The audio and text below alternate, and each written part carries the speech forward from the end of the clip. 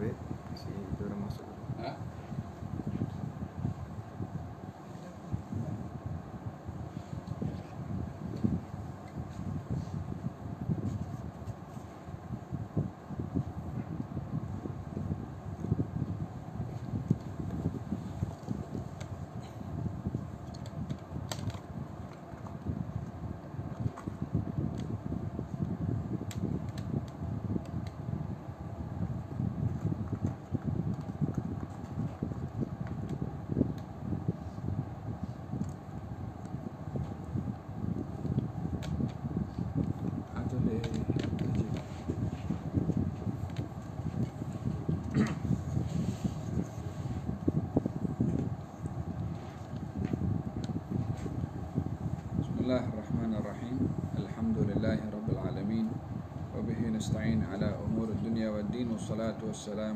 ashrafil anbiya wal mursalin.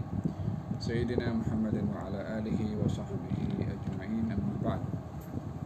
Alhamdulillah uh, Atas nikmat uh, umur Nikmat masa Nikmat sehat Nikmat lapang Yang diberikan oleh Allah subhanahu wa ta'ala yang setiap nikmat menuntut kepada yang diberi nikmat untuk bersyukur yang diberi nikmat sehat supaya mensyukuri dengan nikmat sehat dengan mempergunakan kesehatannya untuk kebaikan.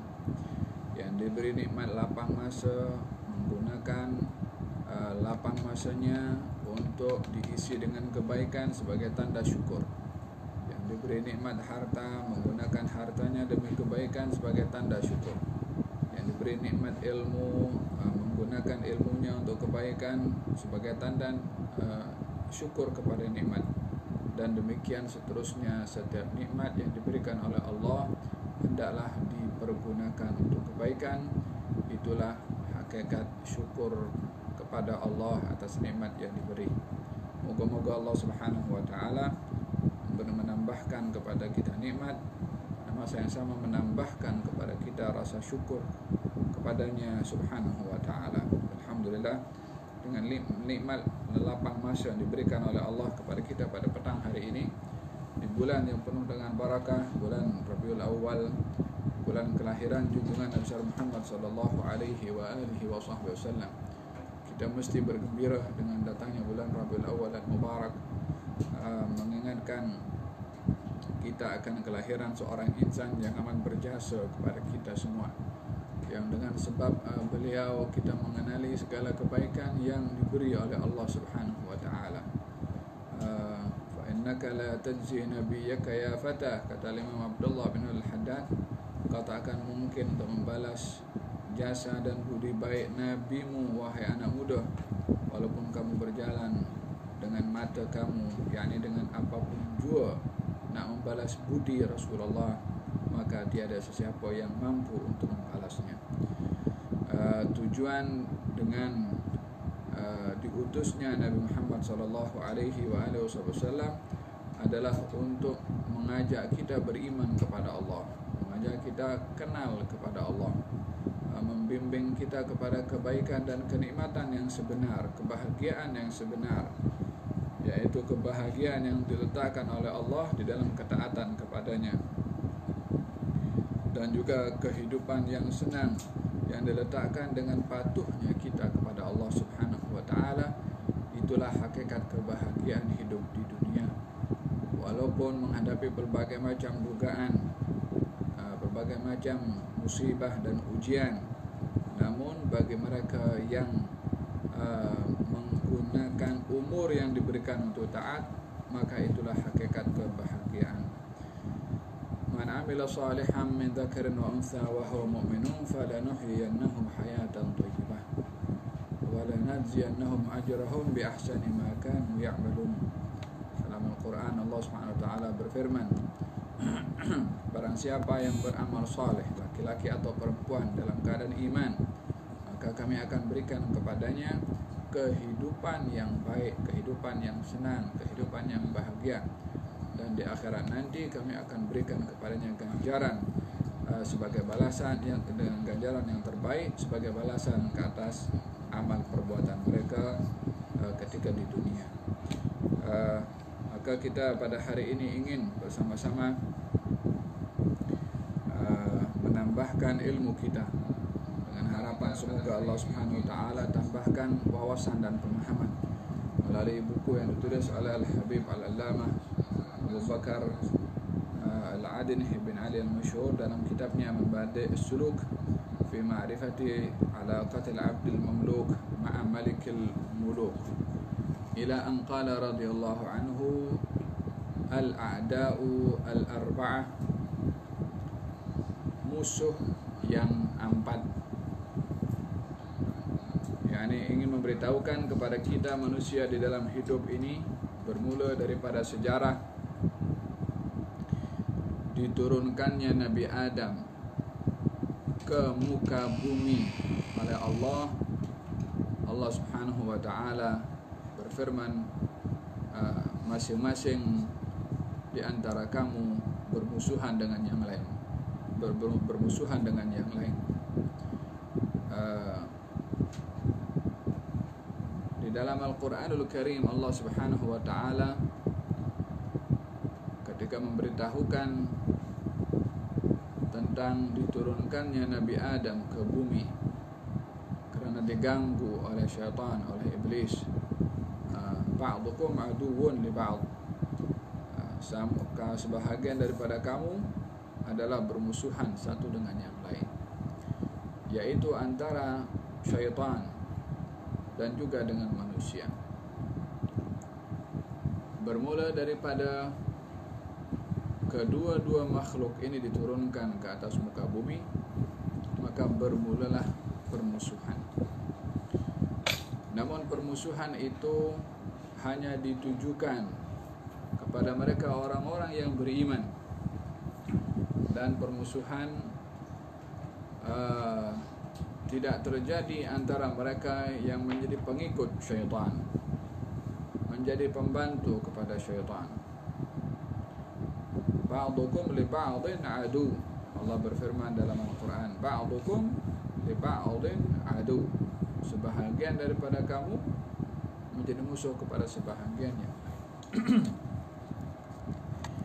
Allah berfirman dalam Al-Quranul Karim وَكَذَلِكَ جَعَلْنَا لِكُلِّ نَبِيٍّ عَدُوًا شَيَاطِينَ الْإِنْسِ وَالْجِنِّ يُوحِي بَعْضُهُمْ إِلَى بَعْضٍ زُخْرُفَ الْقَوْلِ غُرُورًا Dan demikian kami jadikan pada setiap nabi itu musuh daripada kalangan manusia dan jin yang satu dengan yang lain saling memberikan informasi menyampaikan kata-kata yang mengandung manipulasi penipuan.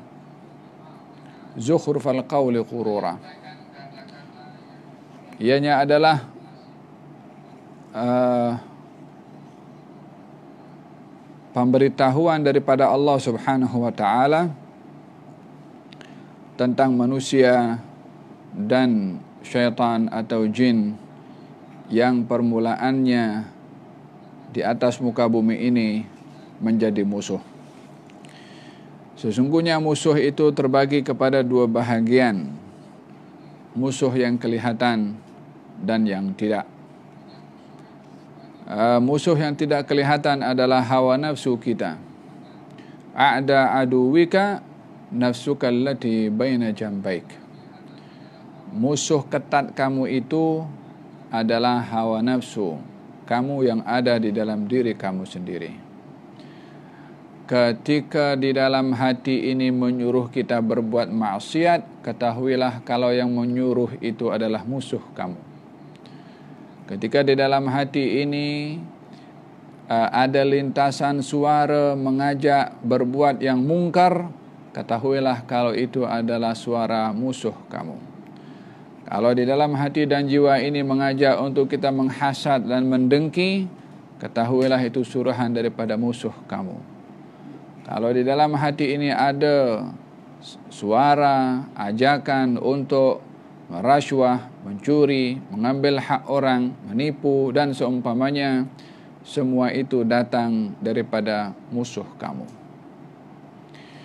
Dan musuh yang di dalam ini lebih berbahaya daripada musuh yang di luar ianya berlegar di dalam dan tidak dapat dihalang melainkan bila mana kita memiliki kekuatan dengan panduan dan bimbingan daripada Allah dan Rasulnya untuk menghalang dorongan daripada dalam yang mengajak kebaikan yang mengajak kejahatan untuk kita ubah kepada kebaikan.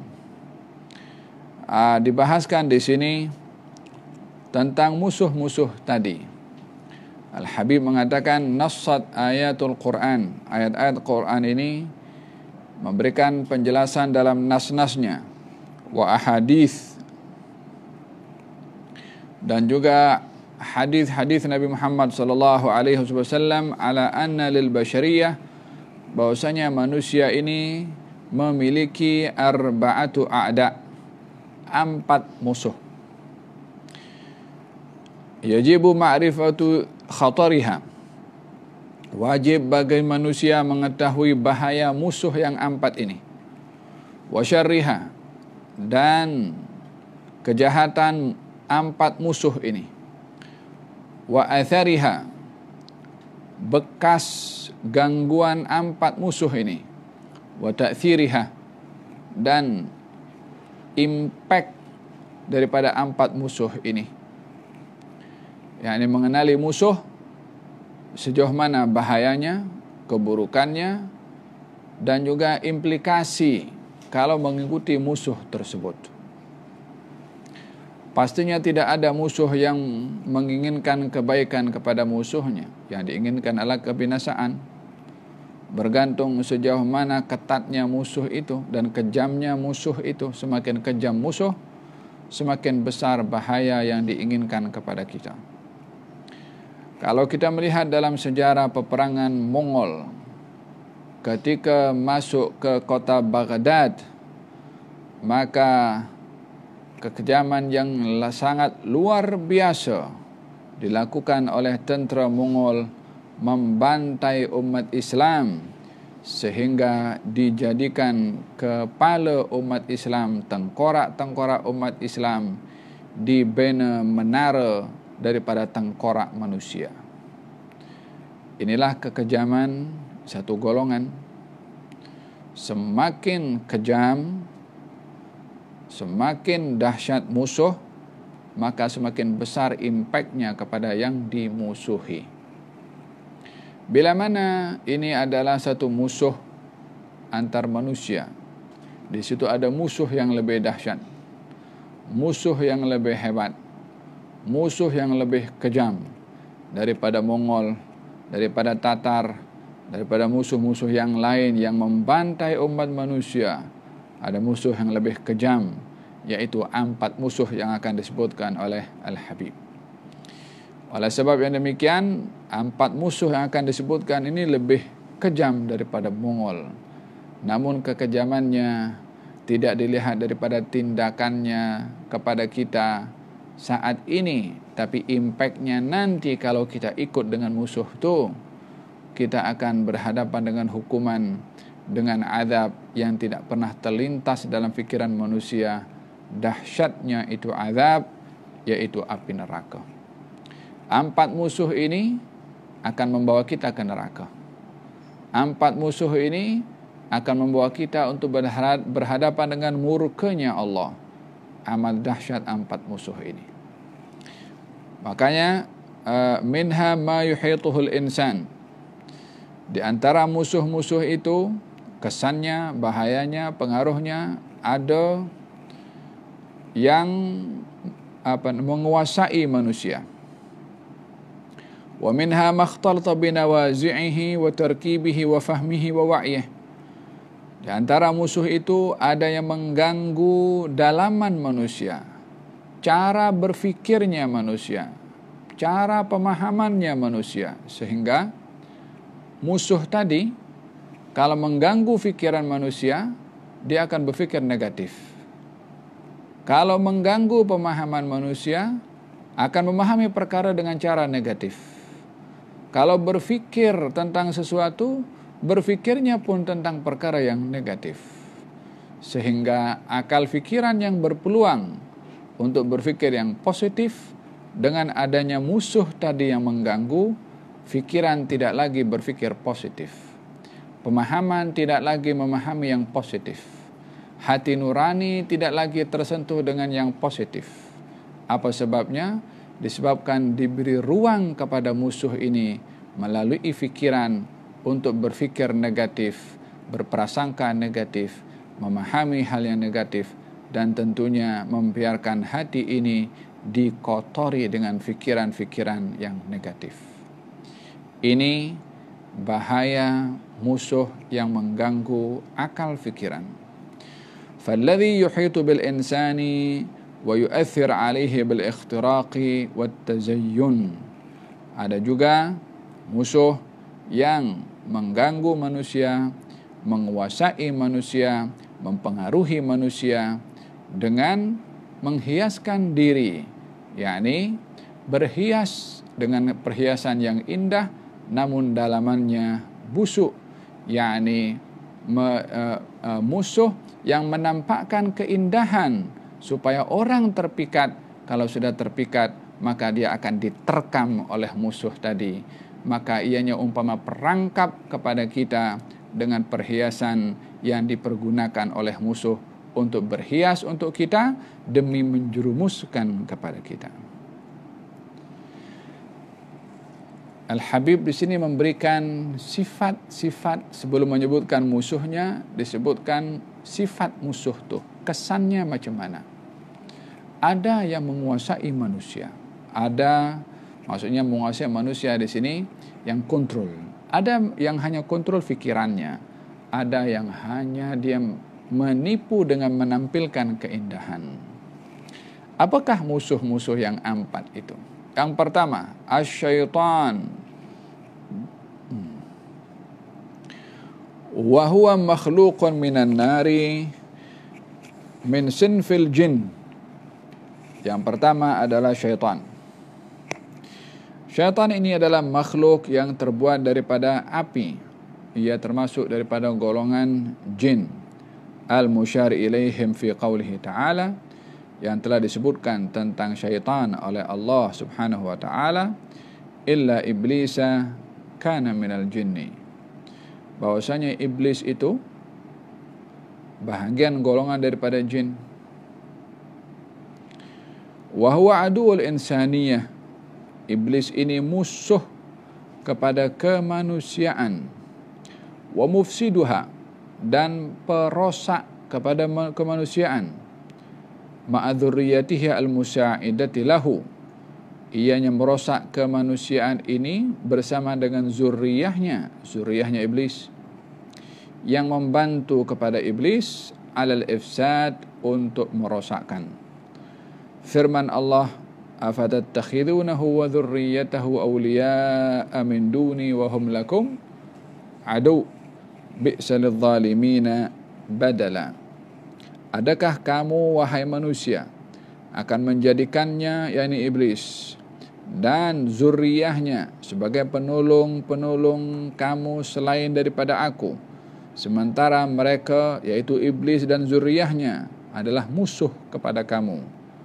Seburuk-buruk orang-orang zalim yang menjadikannya sebagai pengganti yakni menjadikan menjadikan iblis dan uh, zuriyahnya sebagai pengganti daripada Allah Subhanahu wa taala. Apakah itu syaitan? Apakah itu iblis? Apakah itu jin? Dikatakan bahwasanya makhluk yang diciptakan oleh Allah daripada api namanya jin. Dan makhluk yang dicipta daripada tanah adalah manusia. Nama manusia pertama yang dicipta daripada tanah adalah Adam. Nama jin pertama yang dicipta daripada api namanya Al-Jan. Wa khalaqal janna min marijim min nar. Dan kami ciptakan Al-Jan, nama kepada bangsa jin. Kalau Adam nama bangsa manusia, daripada api wa khalaqal janna min marijin min nar Ha, Allah menciptakan al-jan daripada percikan api. Daripada makhluk jin ini lahir turun temurun seperti mana daripada manusia pun juga ada keturunan secara turun temurun. Bila mana didapati di dalam golongan manusia ada yang baik, ada yang tidak, demikian dalam golongan jin. Bila pada manusia ada orang-orang seperti Firaun, Namrud, dalam golongan jin ada juga seperti mereka yaitu iblis dan seumpamanya. Maka dengan demikian di dalam bangsa jin ada yang baik, ada yang tidak. Seperti mana juga pada manusia demikian. Adapun syaitan adalah golongan daripada jin yang memiliki sifat dan perangai untuk menyesatkan sahaja.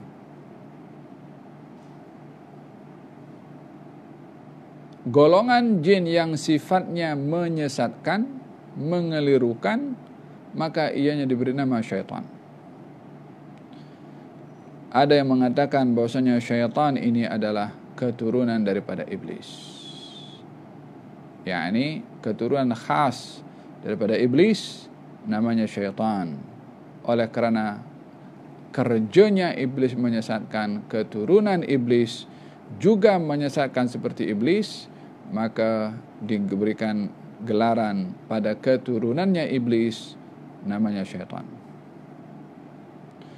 Adapun iblis itu nama kepada jin seperti Namrud nama kepada manusia. Seperti Firaun juga nama kepada manusia. Di situ ada jin yang namanya Ifrit. Qala ifritun minal jinni dalam surat An-Naml. Ana atika bihi qabla an taquma min maqamik. Ifrit daripada jin berkata kepada Sulaiman alaihissalam aku boleh datangkan singgah sana Malikatus Sabak, Ratu Sabak iaitu uh, Balqis sebelum kau sempurna bangkit daripada tempat dudukmu. Di sini diberi nama Ifrit. Maka dengan demikian kita memahami bahwasanya iblis nama kepada jin. Dengan demikian iblis itu golongan daripada jin.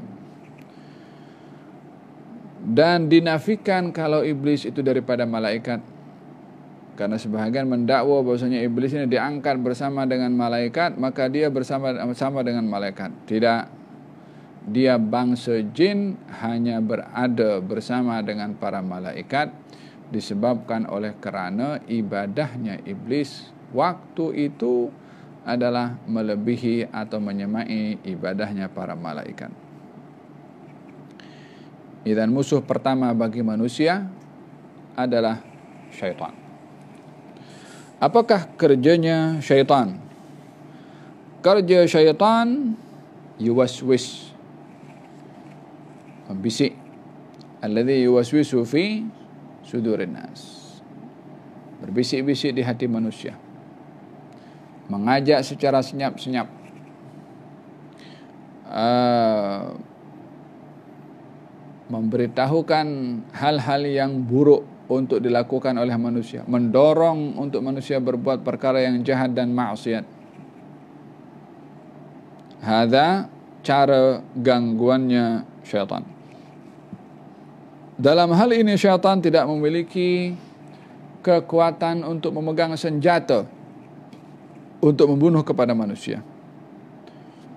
Syaitan tidak memiliki kekuatan untuk uh, menekan atau menyeksa kepada manusia supaya berbuat maksiat. Dia hanya uh, waswis, hanya berbisik-bisik sahaja. Namun bisikannya penuh dengan racun yang berbahaya. Hada musuh yang pertama. Adapun musuh yang kedua ad-dunya majmu'us syahawati war raghabatil maddiyah kumpulan daripada hal-hal yang mengundang kepada hawa nafsu keinginan material allati yahtajuha al-insan yang terkadang manusia pun memang memerlukan kepada benda-benda material. Perlu duit, perlu makan, perlu kerja, perlu kereta, perlu motosikal, perlu basikal, uh, perlu rumah dan seumpamanya. Bi amri hayatihi al-umariyah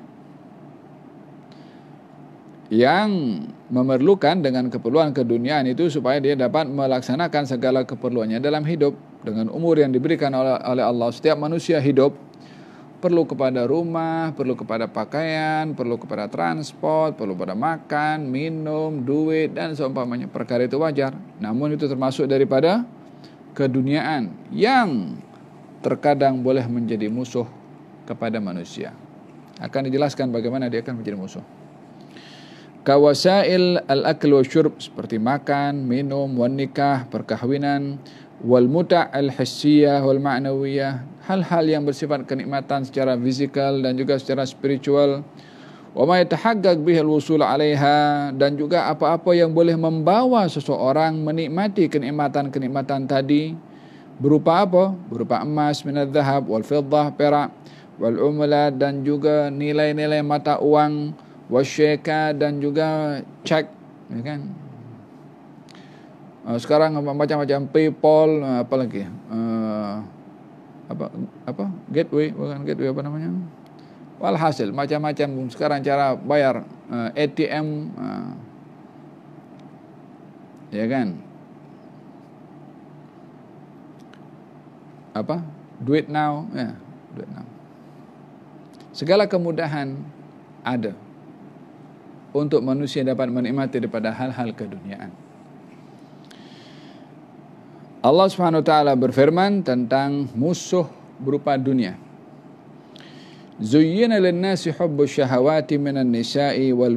Wal qanatir al muqantarati min adh-dhahabi wal fiddati wal khayl al musawwamati wal an'ami wal harth. Dhalika mata'ul hayatid dunya wallahu indahu husnul ma'ab diperhiaskan untuk manusia cinta kepada hal-hal yang mengundang hawa nafsu. Kepada wanita kepada anak-anak kepada bilangan yang besar kekayaan berupa emas dan perak kuda yakni eh, apa nama orang yang berbangga dengan uh, memiliki kuda yang hebat wal an'am binatang ternak wal harath dan juga tanaman. Yang kesemua itu adalah kenikmatan kehidupan di dunia. Lalu Allah berfirman wallahu indahu husnul ma'ab namun Allah memiliki yang lebih baik uh, daripada semua itu dunia ini kalau diperumpamakan adalah umpama sesuatu yang dihiasi dengan keindahan Ad-dunya hulwatun khadrah. Dunia ini kata Nabi hulwah indah, manis. Khadirah. Khadirah ini daripada kalimat akhdar. Akhdar ini hijau dan selalunya warna hijau ini warna yang menarik. Pemberian perumpamaan oleh Nabi dunia ini manis dan menarik. Manis dipandang, menarik orang untuk memiliki. Oleh sebab yang demikian, karena dunia orang bersaing, karena dunia orang bergaduh, karena dunia orang berselisih, karena dunia orang putus silaturahim, karena dunia uh, tidak peduli hubungan antara adik dengan abang, orang tua dengan anak. Sehingga karena keduniaan manusia lupa kepada perkara yang lebih baik dan lebih berharga daripada keduniaan. La ilaha illallah. Hada berkenaan dengan fitnatud dunia. Hubbud dunya ra'su kulli khati'ah kata Nabi. Cinta dunia pangkal kepada segala kesalahan. Hmm. Ad-dunya mal'unatun mal'unun ma fiha. Dunia ini dilaknat dan dilaknat apa ada yang ada yang ada di dunia illa melainkan zikrullah. Wa man wala kecuali zikir kepada Allah dan orang-orang yang bersama dengan ahli zikir. Atau orang yang belajar dan orang yang mengajar.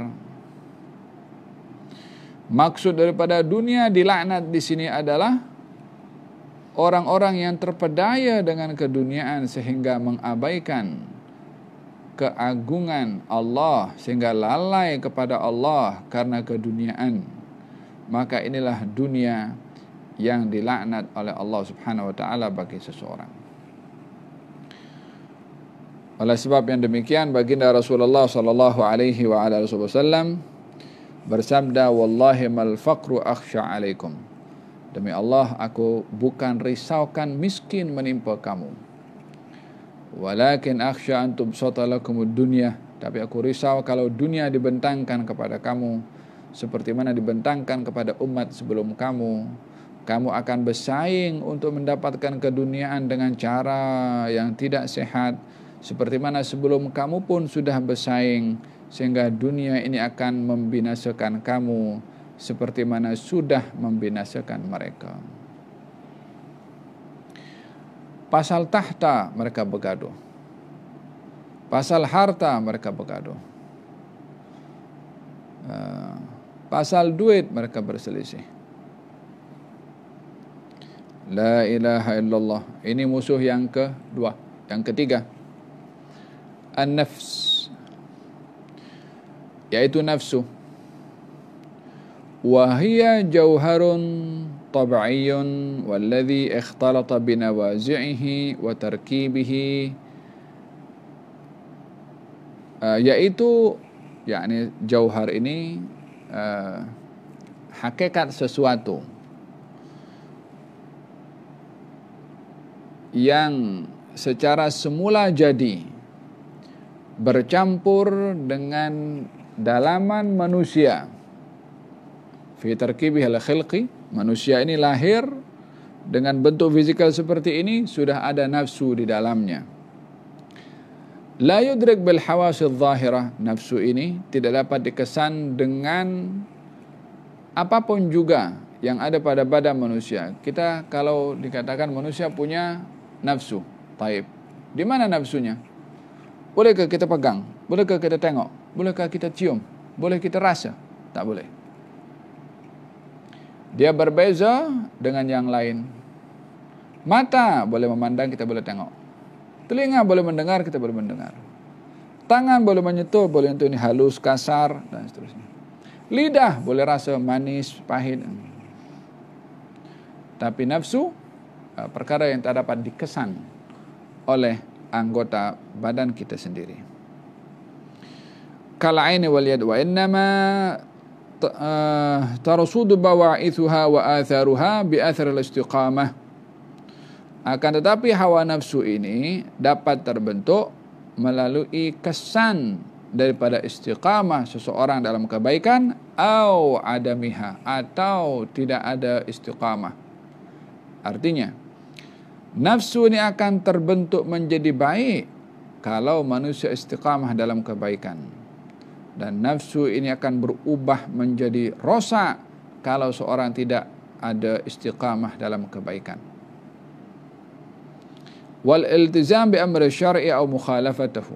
Demikian juga nafsu ini bisa terbentuk untuk dia mengikuti syariat atau lawan syariat.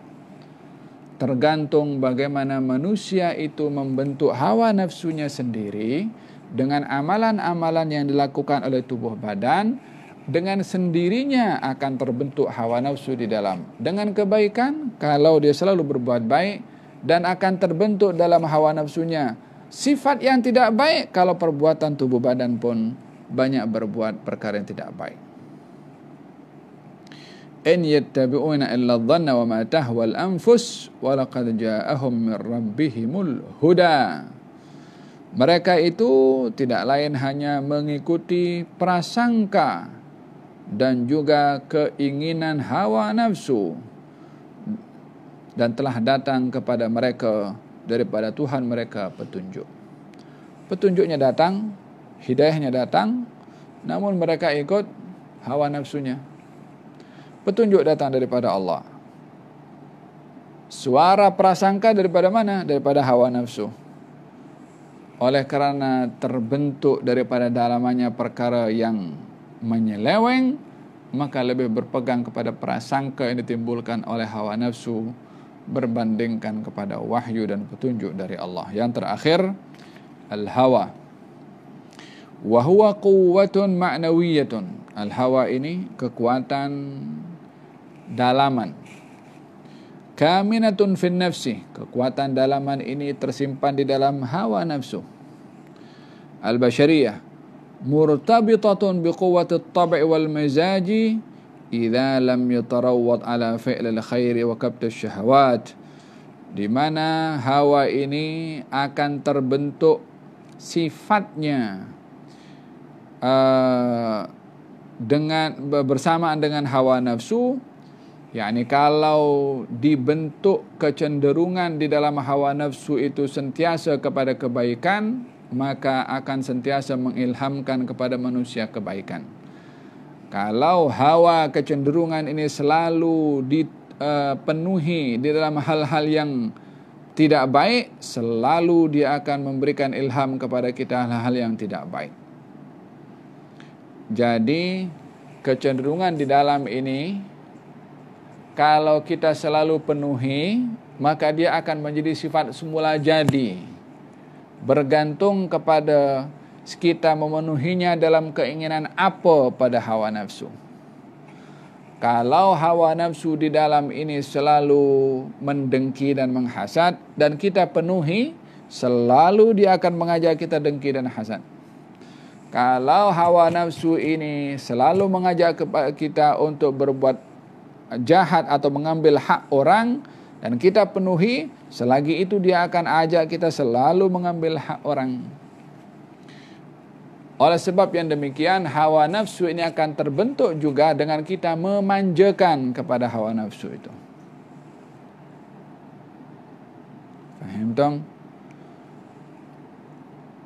Untuk tidak terbentuk hawa nafsu di dalam ini kepada hal-hal yang negatif, maka janganlah penuhi segala keinginannya yang negatif. Untuk agar supaya hawa nafsu ini terbentuk kepada hal-hal yang positif, supaya dia boleh bagi tahu kepada kita hal-hal yang baik, bagi sokongan kepada kita hal-hal yang baik ketika ada kecenderungan yang baik daripada dalam, jangan ditunda untuk kita melakukannya. Oleh sebab yang demikian, di dalam Al-Quranul Karim dibahagikan hawa nafsu kepada beberapa kategori. Ada nafsu ammarah, besuk. Hawa nafsu yang selalu suruh kepada keburukan. Kenapa dia selalu ajak kepada keburukan? Sebab setiap kali timbul keinginan berbuat buruk diikuti. Timbul keinginan buruk yang kedua diikuti. Ketiga diikuti. Lama-lama dah menjadi tabiat kepada hawa nafsu itu untuk berbuat keburukan karena selalu diikuti, dimanjakan. Kalau dihalang oleh kita sendiri dengan ilmu, dengan wahyu, dengan Quran, dengan nas, dengan petunjuk Nabi, muncul keinginan berbuat keburukan, kita tahan, tak boleh. Syarat kata tak boleh. Allah kata tak boleh. Nabi kata tak boleh. Disuruh zalim kepada orang, tak boleh. Quran kata tak boleh. Nabi kata tak boleh. Disuruh ambil hak orang, kita lawan, tak boleh. Disuruh uh, menodai hak orang, kita kata tak boleh. Lama-lama kata tak boleh, tak boleh, tak boleh, tak boleh. Lama-lama dia give up daripada mengajak berbuat keburukan disebabkan tak pernah dilayang. Dia akan bertukar kepada hawa nafsu yang namanya hawa nafsu lawamah. Apa itu hawa nafsu lawamah? Kalau dia berbuat jahat, dia akan menyesal.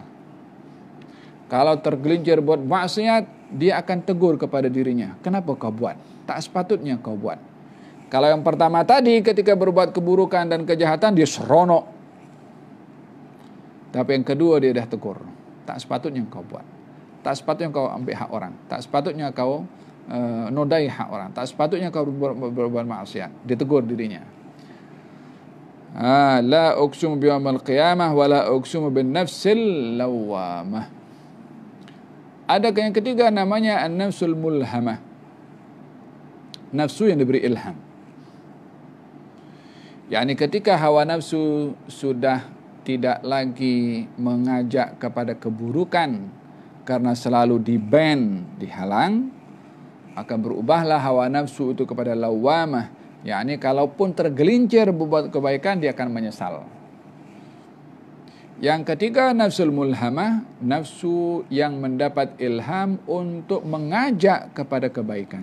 Kalau tadi mengajak kepada keburukan. Yang kedua tegur diri kalau tergelincir beberapa keburukan.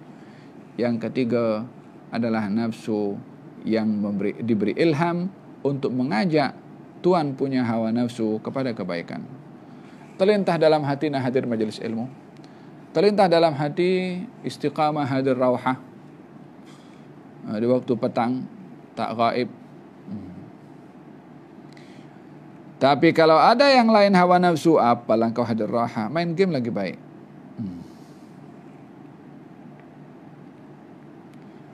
Di sini antara hawa nafsu yang mengajak kepada kebaikan dan hawa nafsu yang mengajak kepada yang tidak baik. Kalau dipenuhi hawa nafsu yang mengajak kepada perkara yang tidak baik, selagi itu dia akan nak lagi, nak lagi, nak lagi. Faham tom? Hada an-nafsu al-mulhamah. Yang keempat adalah nafsu mutmainnah, yang kelima adalah uh, nafsu uh, radiyah, yang keenam adalah nafsu al-mardiyah. Nanti peringkatnya panjang lebar dibahaskan dalam ilmu at-tasawuf. Firman Allah Subhanahu wa taala, "Afara'aita man ittakhadha ilahahu hawahu wa adallahu ala ilmin wa khatama ala sam'ihi wa qalbihi wa ja'ala ala bas ala bas ala basarihi ghishawatan faman yahdihi min ba'dillah tidakkah kamu melihat kepada orang yang menjadikan tuhannya menjadikan tuhannya. Siapa tuhannya? Hawahu hawa nafsunya dijadikan tuhan. Macam mana hawa nafsu dijadikan tuhan? Apa saja kata hawa nafsu. Siap. Ready. Marhaba. Sami'na wa ata'na. Ini hamba kepada hawa nafsu. Suruh tengking orang tengking orang. Suruh pukul orang, pukul orang. Disuruh ambil dua orang, dia ambil dua orang. Disuruh main game, dia main game. Disuruh tidak hadir rawaha, tidak hadir rawaha. Hamba kepada hawa nafsu. Ikut saja apa katanya. Ah. Golongan ini dicela oleh Allah Subhanahu wa taala kalau menjadikan hawa nafsu sebagai tuhannya. Wa adallahu ala ilmin dan disesatkan wa adallahu Allahu ala ilmin wa khatama ala sam'ihi ditutup telinganya wa qalbihi hatinya wa ja'ala ala basarihi ghishawa matanya pun tertutup sehingga hati tertutup daripada menerima kebenaran pendengaran tertutup daripada mendengar kebenaran pandangan pun tertutup daripada melihat kebenaran. Sehingga yang didengar perkara yang batil yang masuk hati perkara yang batil yang dipandang pun juga perkara yang batil kalau yang demikian berlaku kepada seorang yang menjadikan hawa nafsunya menjadi Tuhan, dipatuhi segala perintahnya dan juga diikuti segala keinginannya, tertutup hatinya untuk menerima kebenaran, telinganya dan pandangannya, Allah berfirman, "Faman yahdihi min ba'dillah." Siapa lagi yang boleh beri hidayah kepada orang yang macam ini? Setelah Allah memberikan hidayah kepada mereka dan enggan untuk menerimanya. Moga-moga Allah Subhanahu wa taala memberikan kekuatan kepada dalaman ini supaya tidak mudah diganggu oleh syaitan, oleh dunia, oleh nafsu, oleh hawa, oleh segala apa pun yang dapat menyesatkan kita. Dan moga-moga Allah Subhanahu wa taala berikan kekuatan dalam hati dan jiwa ini agar supaya hati ini mendapat hati yang setiasa, menjadi hati yang sentiasa mendapat ilham untuk melakukan kebaikan dan terpanggil melakukan kebaikan dan moga-moga Allah Subhanahu wa taala lindungi kita daripada terpedaya dengan musuh-musuh yang empat ini. Amin Allahumma amin. Dalam uh, apa itu? Uh, Al-Habib Ali Al-Habsyi mengatakan wahfadhil qalba ayyulimma bihi syaitan wan nafs wal hawa wad daniyah.